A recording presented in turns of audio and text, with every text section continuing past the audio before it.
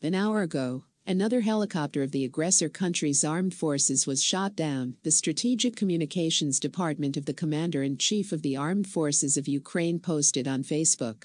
According to the General Staff of the Armed Forces of Ukraine, as of the morning of March 5, the invaders lost more than 10,000 personnel, 39 planes, and 40 helicopters.